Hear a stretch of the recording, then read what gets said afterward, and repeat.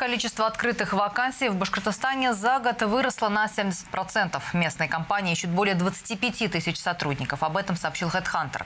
Аналитики отмечают, что спрос на персонал растет каждый месяц, начиная с лета прошлого года. Среди работодателей усиливается конкуренция. Сроки найма и расходы на подбор сотрудников возрастают. Чаще всего компании ищут рабочий персонал, сотрудников отдела продаж и строителей.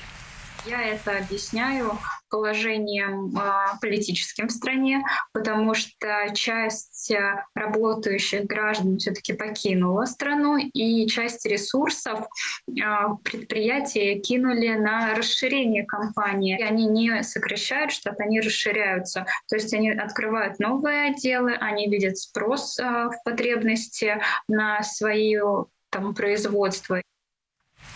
Эксперты считают, что наиболее правильным подходом для бизнеса будет найм сотрудников в возрасте от 50 лет и, напротив, молодых без опыта работы. Ну и добавлю, в республике проживает 1 миллион 960 тысяч человек трудоспособного возраста, 50 тысяч из них безработные.